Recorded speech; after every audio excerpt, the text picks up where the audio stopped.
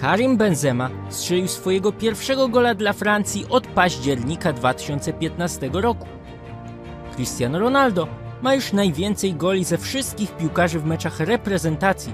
Dokładnie wyrównał rekord Ali Deyego 109.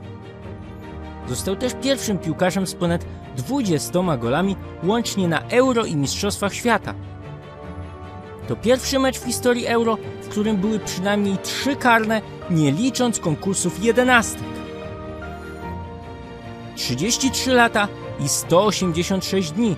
Karim Benzema jest obecnie najstarszym strzelcem gola dla Francji na dużym turnieju.